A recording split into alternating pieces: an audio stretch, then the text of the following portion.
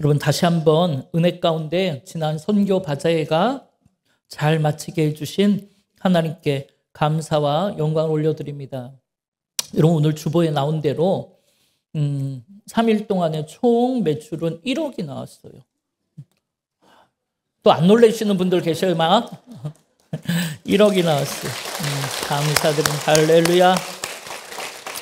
그 중에 이제 순수 총 수익, 수익금은 우리가 코로나 이전에 바사에 하던 때보다 훨씬 더 많이 나온 8,500만 원이 나왔습니다. 정말 감사를 드리고, 어, 이것이 뭐 숫자가 중요한 거는 꼭 아니지만 그래도 이, 이, 이것이 우리에게 하나님 주시는 위로와 어, 힘이, 힘인 줄 믿습니다. 그래서 이 예물이 다음 세대를 부흥의 세대, 선교의 세대로 다시 세우는 마중물이 되기를 주님의 이름으로 축원합니다. 여러분 우리가 지난주의 말씀을 기억해 보면 우리가 이 룻기를 시작할 때 어떤 질문으로 룻기를 시작했다고 했습니까?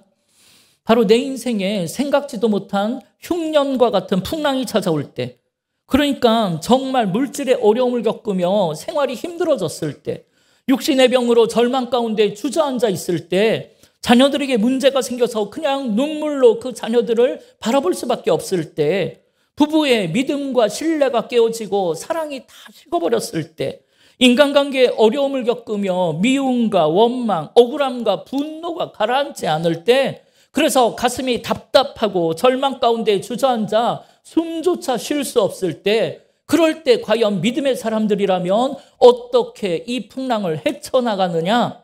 그런 질문으로 이 룻기는 시작되었다고 했습니다. 이 룻기 1장이 우리에게 뭐라고 대답했습니까? 그럴 때 우리는 그런 풍랑 속에서 여전히 내 손을 꽉 붙잡고 계시고 여전히 나를 품에 안고 계시는 하나님을 느끼고 바라볼 수 있어야 한다라고 했습니다. 그리고는 그런 하나님의 사랑, 십자가의 은혜 가운데 더 깊이 들어가서 우리의 마음의 운전대를, 우리의 삶의 운전대를 하나님께 온전히 맡겨드려야 이 풍랑을 해치고 나아갈 수 있다는 거예요. 그런데 여러분, 이걸 우리가 아무리 얘기해도 뭐라고들 하시냐면, 목사님, 저도 그런 무서운 풍랑 속에서 나를 붙잡고 계시는 하나님을 느끼고 바라보려고 하고, 그런 나를 돌보시고 인도하신 하나님께 내 삶의 운전대를 드리려고 하는데도 그게 잘 안 된다는 거예요. 여러분, 왜 그렇습니까? 그건 지금 하나님은 나를 여전히 꽉 붙잡고 계시지만 내가 그런 하나님을 바라보기보다는 여전히 나에게 불어닥친 세상의 풍랑만을 바라보고 있기 때문이고 하나님의 은혜와 사랑 속으로 내가 더 깊이 들어가는 게 아니고 그 문제, 문제 속으로 내가 더 깊이 들어가 있기 때문, 때문에 그렇습니다. 여러분 생각해 보세요. 우리가 그 문제 속에서 나오려고 한다고 해서 사탄이 그걸 순순히 나가도록 내버려 둘 것 같습니까? 천만의 말씀이지요. 그 풍랑을 더 세차게 몰아쳐서 이 문제가 해결되지 않으면 큰일 날 것 같은 두려운 마음을 준다. 꼭 죽을 것 같은 마음을 준단 말이에요. 그래서 결국 마라의 쓴물과 같은 텅 빈 인생으로 우리를 몰아간다는 거죠. 그래서 우리의 마음과 생각이 온통 그 문제에만 집중하고 그 문제에 매달리게 만든다는 거예요. 그러니까 하나님의 하나님을 바라볼 수가 없고 하나님의 은혜와 사랑 속으로 들어갈 수가 없죠. 물론 그렇다고 해서 그 문제를 나 몰라라 하라는 게 아니에요. 최선을 다해 그걸 해결하려고 우리는 애를 쓰며 노력해야죠. 그런데 여러분, 그걸 해결하는 방법이 세상의 물질과 인맥을 의지하며 내 힘으로 그걸 해결하려고 애를 쓰느냐? 아니면 하나님의 은혜와 섭리를 따라 이 풍랑을 헤쳐나가려고 하느냐? 이게 문제라는 거예요. 그런데 우리가 살펴본 것처럼 엘리멜렉과 나오미는 세상의 방법을 따라 내가 내 인생의 운전대를 붙잡고 우회전, 좌회전을 내가 판단하고 내가 결정해서 내 힘으로 이 풍랑을 헤쳐나가려고 했다는 거예요. 우리가 대부분 이렇게 한다는 거예요. 그런데 여러분, 그렇게 해보니까 그 풍랑을 헤쳐나갈 수 있던가요? 행복하시던가요? 그 문제가 해결되던가요? 그래서 내 남편이 변화됐고 내 아내가 달라지던가요? 그렇지 않잖아요. 여러분, 인간의 사랑이라는 게 변하더라는 거예요. 물질이 주는 행복도, 인맥이 주는 평안함도, 세상이, 세상 성공이 주는 기쁨도 유통기한이 있더라는 거예요. 그래서 나는 이걸 이겨낸 줄 알았는데, 헤쳐나간 줄 알고 끝난 줄 알았는데도 또 다른 걱정과 한숨이 우리를 쓰디쓴 마라의 인생으로 몰고 가더라는 거예요. 그럼 여러분 어떻게 해야 한다고요? 우리를 돌보시고 인도하시는 전능하신 하나님께 진짜 내 삶의 운전대를 맡겨드려야 한다는 거예요. 여러분, 이거는 우리의 마음의 문을 세차게 두드리시는 주님 앞에 우리의 마음, 마음의 문을 활짝 열어야 하는 것입니다. 그래서 말씀과 기도 생활을 통해 찬양과 예배, 예배 생활을 통해 내 삶을 하나님의 은혜와 사랑으로 예수로 충만케 해야 하는 거예요. 이를 위해 여러분 뭘 해야 하냐면 내 마음을 지금 콱 틀어막고 있는 이 마음의 무덤의 돌을 옮겨야 한다라. 이걸 하지 않으니까 하나님의 은혜와 사랑 속으로 들어갈 수가 없는 거예요. 여러분, 예수님이 죽은 나사로를 살리시는 그 장면을 기억해 보세요. 예수님은 나사로가 죽었다는 소식을 듣고도 이상하게 바로 가시지 않고 마치 일부러 지체하는 것처럼 거기에서 이틀, 이틀을 더 지체하신 후에 가셨어요. 그런 동안 나사로는 이미 죽어버렸고 장례도 이미 끝난 상태입니다. 이로 인해 그 여동생 마르다, 마리아 자매는 너무나 큰 슬픔과 함께 예수님을 향한 원망을 가지게 됐어요. 그래서 그런지 실제 예수님이 오셨을 때 어, 마리아는 너무나 속이 상해서 음, 방 안에 방 안에서 나와보지도 않았고 언니 마르다는 마지못해 나가서 예수님을 보자마자 주님 왜 이제 오셨냐고 주님이 계셨더라면 내 오라버니가 죽지 않았을 거라고 원망하며 말했잖아요.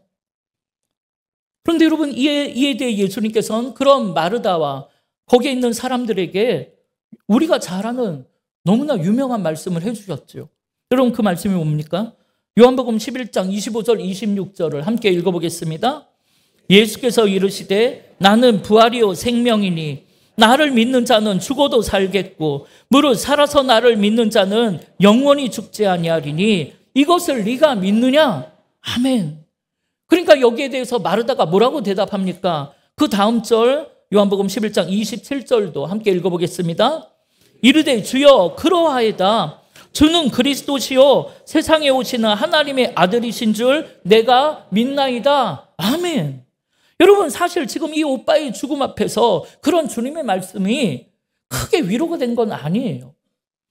그러나 그래도 마르다는 믿음으로 대답하기를 그렇습니다, 주님. 주님은 우리를 죄와 사망에서 구원해 주실 그리스도시요. 능치 못할 일이 없는 전능하신 하나님의 아들이신 줄을 내가 믿나이다. 고백하는 거예요. 예, 이런 마르다의 신앙 고백을 들으신 예수님께서 이제 진짜로 나사로를 살리시기 위해 무덤으로 가시는 겁니다. 그런데 막상 오빠의 무덤 앞에 이르니까 마르다와 마리아가 또 통곡하며 우는 거예요.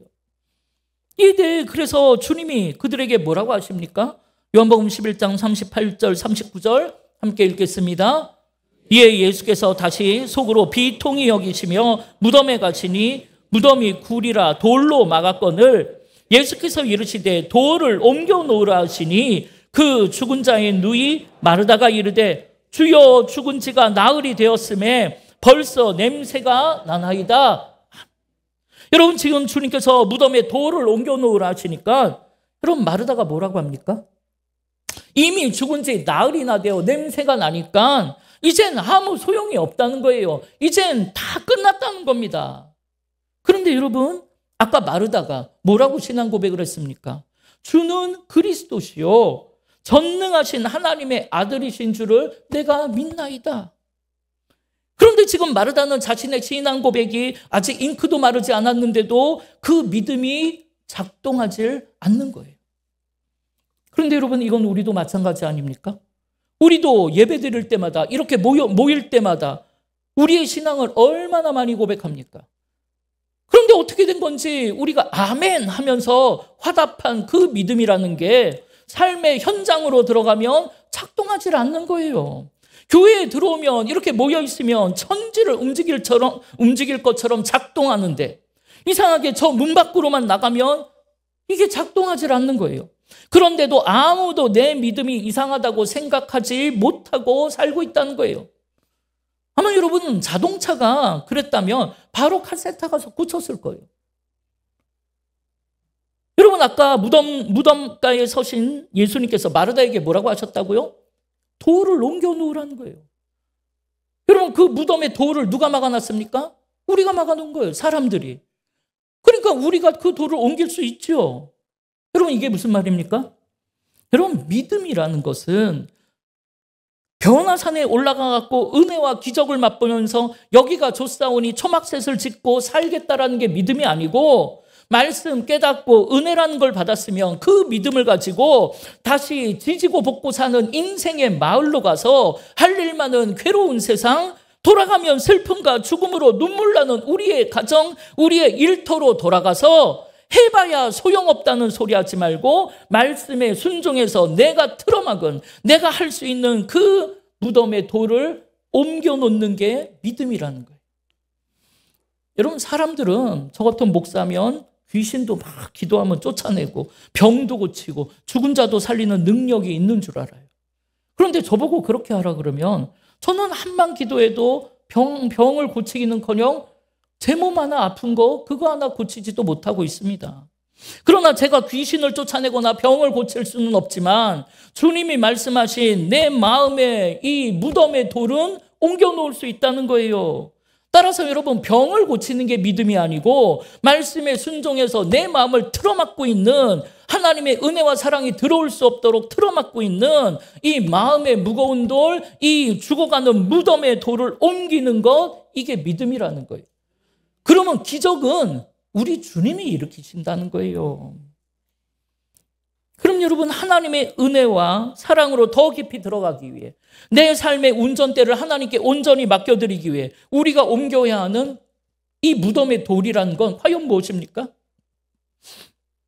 이런 것은 남편과 아내를 향한 굳어진 마음 아닐까요? 미움과 원망 아니겠습니까? 그게 틀어막혀 있으니까 하나님의 사랑이 느껴지질 않죠. 부모 자녀 간의 다친 마음, 교회에서 일터에서 인간관계를 통해 쌓여가는 서로를 향한 시기와 질투, 미움과 분노 아니겠습니까?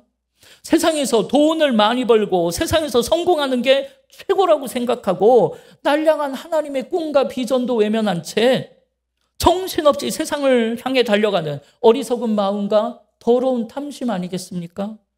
여러분, 여러분이 내 마음을 틀어막고 장악하고 있는 그런 돌처럼 굳어진 마음을 풀지 않는다면 지금 여러분에게 닥친 이 흉년과 풍랑은 계속해서 여러분의 마음을 아프게 할 거예요.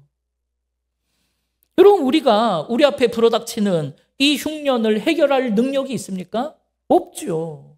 여러분, 우리는 우리를 몰아치는 이 풍랑을 잔잔케 할 능력이 없습니다. 그건 만물을 주관하시는 우리 하나님만이 하실 수 있는 일이니까요.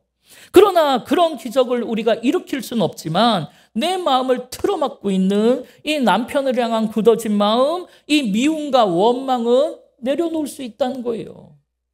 인간관계를 통해 쌓여가는 시기와 질투, 미움과 분노는 내가 옮길 수 있다는 거예요. 하나님을 외면한 채 세상에 물들어 달려가는 더러운 마음과 욕심은 내가 옮길 수 있다는 겁니다.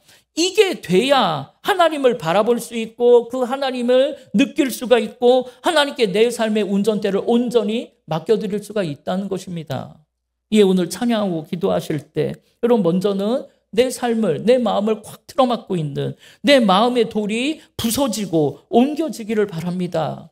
그래서 내 마음에 다시금 십자가의 은혜와 사랑이 강물처럼 흘러들어오고 가정을 향한 일터를 향한 하나님의 꿈과 축복이 회복되므로 할 수 없다고 안 된다 소용없다 하지 말고 할 수 있다고 하면 된다 해보자라는 믿음으로 하늘의 꿈을 꾸고 그 꿈을 이루는 삶이 되시기를 주님의 이름으로 축원합니다.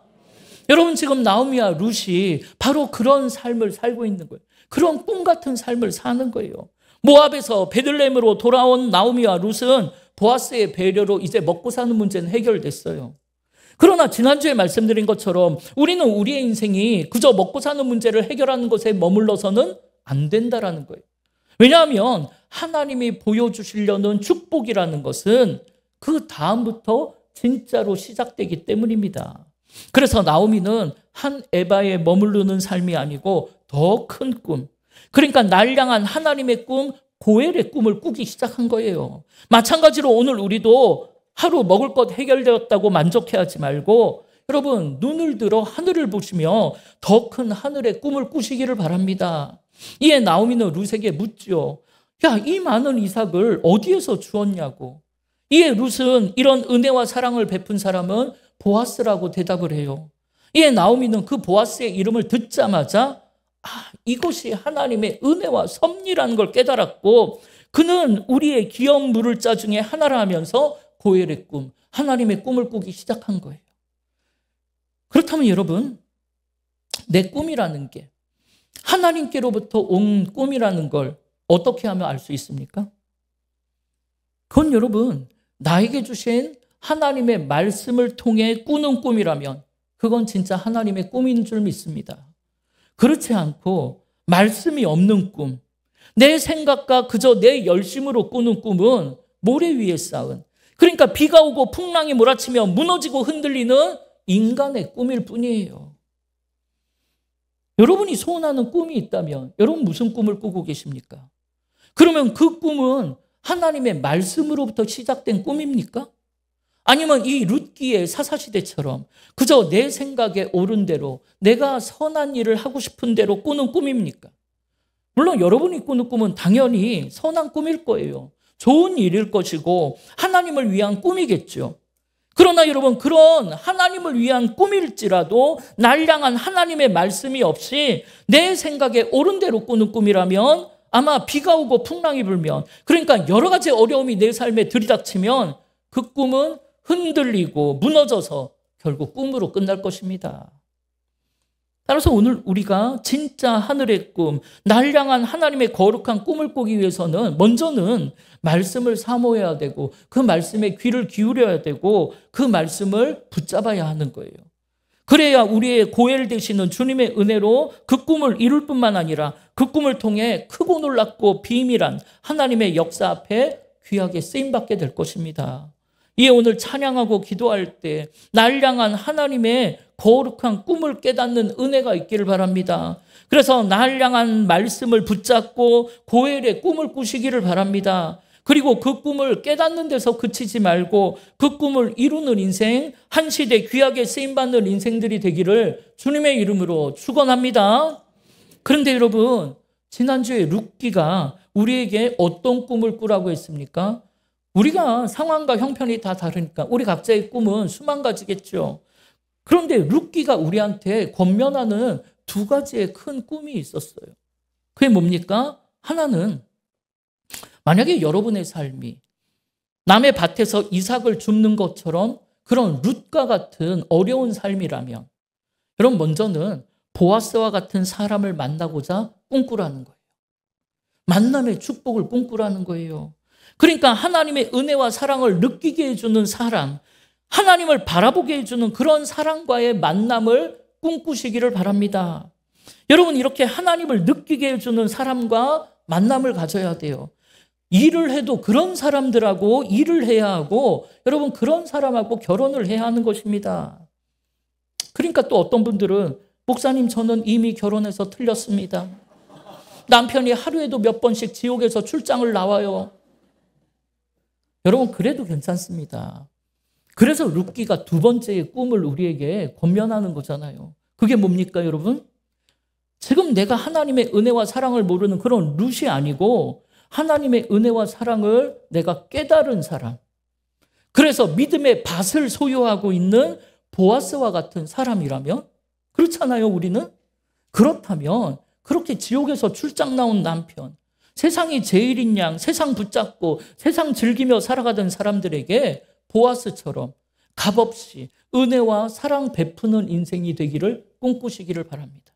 그래서 그들이 나를 통해 예수님을 느끼고 예수님을 만나게 해주는 그런 복된 축복의 통로와 같은 그런 인생을 꿈꾸시기를 바랍니다.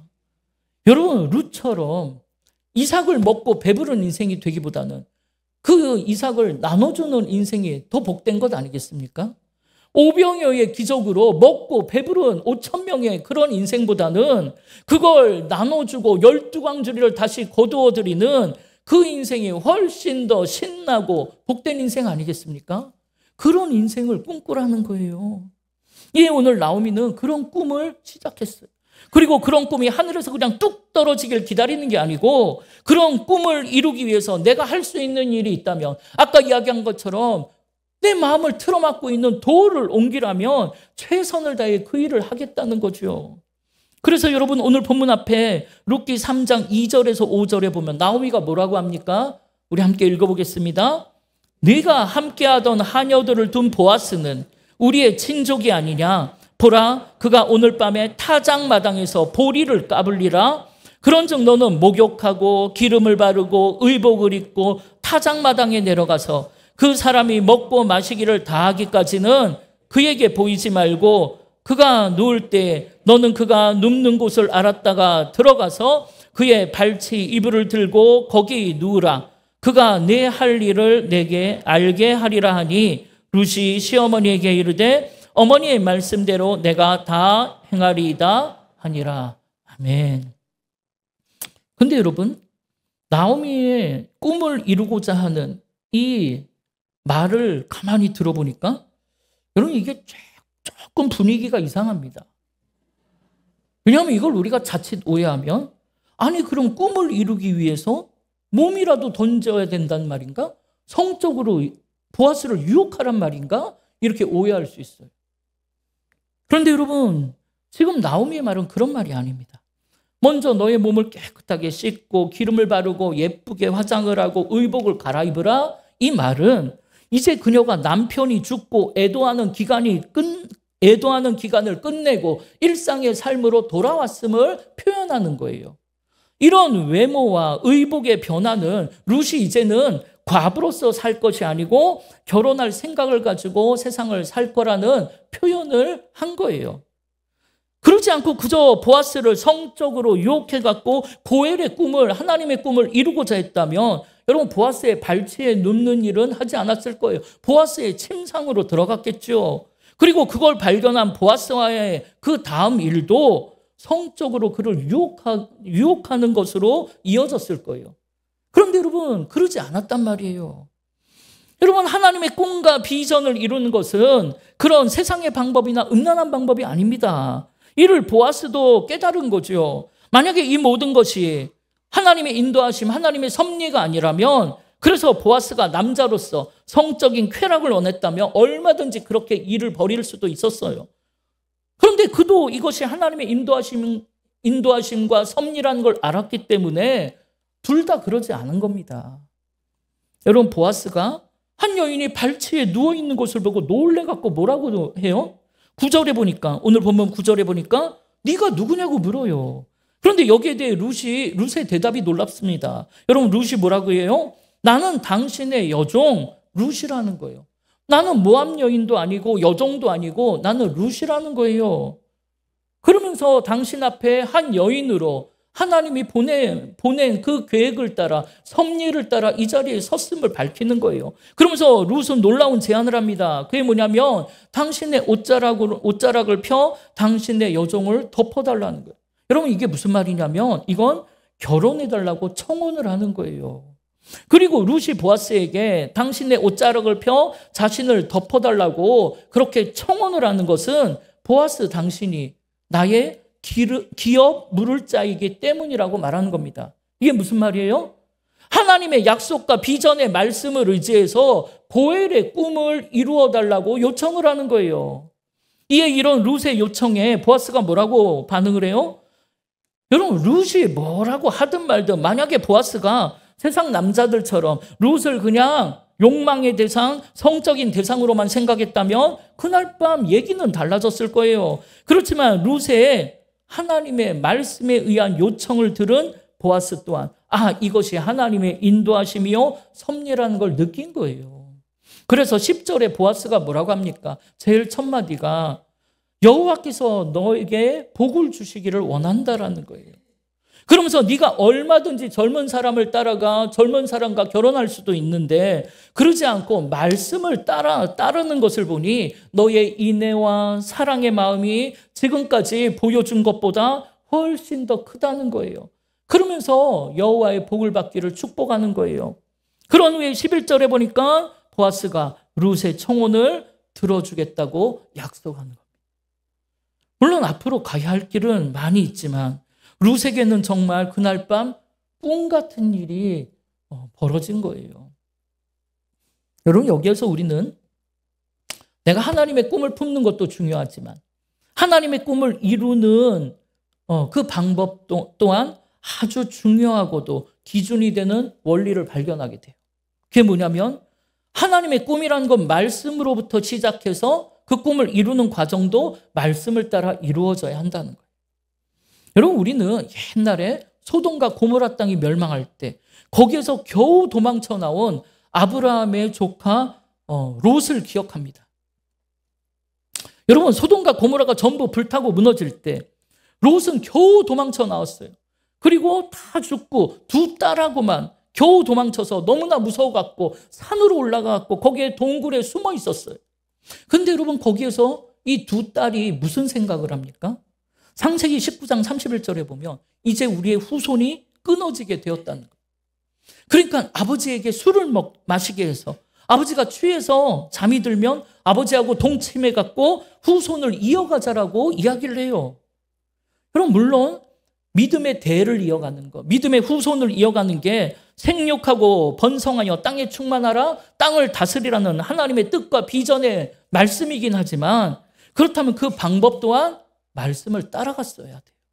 그런데 롯의 두 딸은 그 방법을 세상의 방법을 사용해서 아버지에게 술을 먹여 취하게 한 후에 아버지하고 동침해 갖고 각각 아들을 낳았다라는 거예요. 여러분 그때 큰 딸이 낳은 아들이 누구입니까? 바로 우리가 살펴보고 있는 이 룻의 조상 모압 아닙니까? 그런데 이제 똑같이 후손을 향한 하나님의 꿈, 고엘의 꿈을 이루고자 하나님께서는 참 아이러니하게도 그때 그 큰딸이 낳은 모압 여인 룻을 통해 이걸 이루시더라는 거예요. 그리고 그 방법 또한 그때 모압의 어머니 그 롯의 두 딸이 취했던 그 방법과 유사한 방법으로 이걸 이루시더라는 거예요. 이에 오늘의 주인공은 룻 또한 아니 보아스 또한 얼마든지 타장마당에서 보리를 주소하며 축제를 벌이며 술에 취해 성적으로 이 꿈을 이룰 수도 있었겠지만 여러분 그건 하나님 나라의 말씀과 방법이 아니라는 거예요. 이에 형식은 같더라도 룻은 이 결혼의 꿈이 하나님의 말씀, 고엘의 말씀으로부터 왔다는 것을 보아스에게 이야기를 하고 청혼을 했고 이에 보아스도 그 말씀을 듣고 어, 그 말씀을 따라 이 꿈을 이루어가는 방법을 하나님의 말씀대로 진행했다는 거예요. 마찬가지로 오늘 우리에게 주신 하나님의 거룩한 꿈과 비전이라는 게 있다면 먼저는 여러분 그것이 하나님의 말씀으로부터 온 것이어야 되고 그것을 이룰 때도 말씀의 기준을 따라 하나님의 인도하심과 섭리를 따라 하나님 나라의 방법대로 이루어야 한다는 것입니다. 이에 자기가 룻의 고해림을 깨달은 보아스는 그 말씀 앞에 합당한 절차를 밟기 위해 행동했고 결국 룻은 보아스의 아내가 되어서 다윗의 증조모가 되었고 여러분 이로 인해 그렇게 어리석은 일을 저질렀던 그 모압 족속도 모압 민족도 하나님의 구원의 계보 구원의 그 어, 족보에 오르게 되는 축복을 누린 거 아닙니까? 사랑하는 여러분, 우리는 내일부터 2주간에 걸쳐서 에베네셀 기도회로 모일 거예요. 물론 이게 영원 구원, 행복 축제를 위해 모이는 것이기도 하지만 오늘 루시 보아스에게 들어가서 청원함으로 고엘의 꿈을 시작한 것처럼 저는 이번 에베네셀 기도회가 우리에게 주신 하나님의 거룩한 꿈이 시작되는 추수의 타작 마당이 되기를 바랍니다. 그래서 우리의 고엘 되시는 예수님을 만나는 시간, 여러분이 꿈꾸던 그 기도의 제목들이 응답받는 간증의 시간, 이로 인해 모든 사람이 구원받는 놀라운 은혜와 축복의 시간이 되기를 바랍니다. 여러분, 이 에베네셀, 이 이름의 뜻이 무엇입니까? 에베네셀은 돕는 돌이라는 뜻을 가지고 있어요.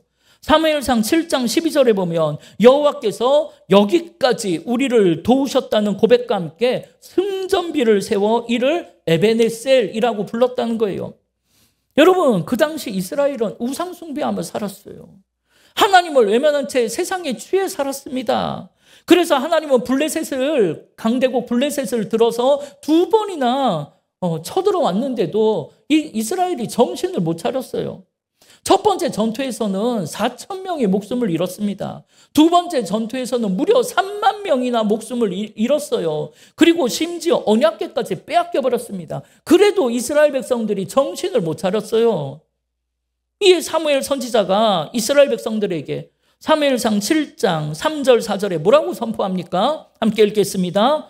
사무엘이 이스라엘 온 족속에게 말하여 이르되 만일 너희가 전심으로 여호와께 돌아오려거든 이방 신들과 아스타롯을 너희 중에서 제거하고 너희 마음을 여호와께로 향하여 그만을 섬기라 그리하면 너희를 블레셋 사람의 손에서 건져내시리라 이에 이스라엘 자손이 바알들과 아스타롯을 제거하고 여호와만 섬기니라 아멘 이제 그들이 정신을 차렸어요 그러니까 그 다음에 사무엘은 온 이스라엘 백성들에게 미스바로 모이라고 얘기합니다. 그래서 미스바에 모여서 거기에서 금식하며 회개하며 대각성 기도회를 어, 기도회를 열어요.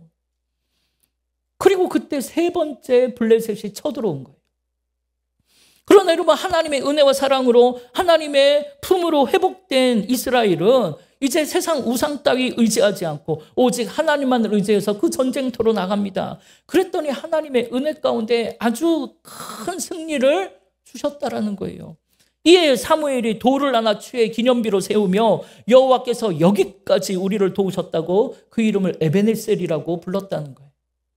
저는 이번 에베네셀 기도회가 그렇게 우리의 삶의 회개와 회복의 기도회, 승리의 기도회가 되기를 바랍니다. 그래서 예수님을 깊이 체험하고 만나는 기도에 첫사랑의 은혜를 회복하는 기도회가 되기를 바랍니다. 그래서 세상과의 전쟁, 반복하는 죄와의 전쟁에서 아주 큰 승리, 대승을 거두는 기도회가 되기를 바랍니다. 그래서 우리도 여기까지 하나님이 도와주심으로 하늘의 놀라운 꿈을 이루는 에베네셀 기도회가 되기를 주님의 이름으로 축원합니다. 우리 시간 함께 주보에 있는 찬양 결단하며 찬양합시다. 이 찬양 들을 때 정말 하나님께로부터 온 거룩한 꿈을 꾸는 은혜가 있기를 바랍니다.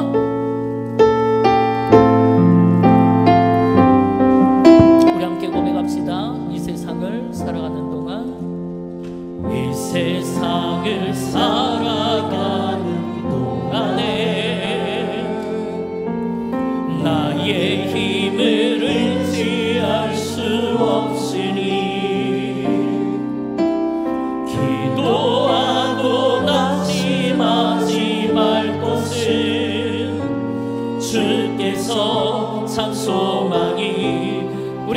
고백합시다. 이 세상을 살아가는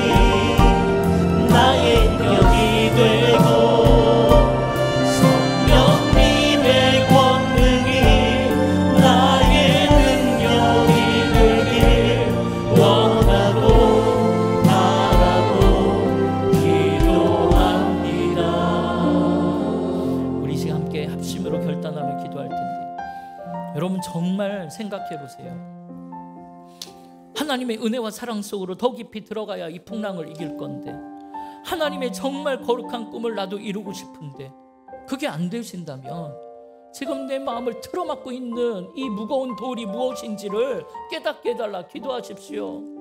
여러분 그게 남편을 향한 아내를 향한 굳어진 마음, 원망과 미움이라면 내려놓으셔야 돼요. 그래야 정말 행복하게 사는 거예요. 그게 이웃을 향한 시기와 질투, 미움과 분노라면 하나님이 그걸 옮길 수 있도록 은혜 내려달라고 기도하십시오. 내가 하나님이 나를 이 땅에 보내신 목적도 모른 채 그냥 세상에 물들어 그 욕심껏 그렇게 물질을 쫓아 성공을 쫓아 정신없이 달려간다면 하나님 그 어리석은 마음도 세상 욕심도 다 내려놓게 해달라고 기도하십시오. 비록 그게 텅 빈 마라의 인생이 되더라도 하나님이 채우실 거예요. 하나님이 채우시고 차고 흘러 넘치도록 채우시고 하늘의 꿈을 이루게 하실 겁니다. 하나님 나도 그렇게 살게 해달라고 나도 보아스처럼 멋진 인생 살게 해달라고 여러분 그런 인생 살고 싶지 않으십니까? 그렇다면 기도하십시오. 하나님 하나님 나를 좀 도와달라고. 그걸 깨닫고 마음에 무거운 돌을 옮기고 하나님의 꿈을 이루게 해달라고. 우리 주의 이름을 한번 부르며 합심으로 기도하겠습니다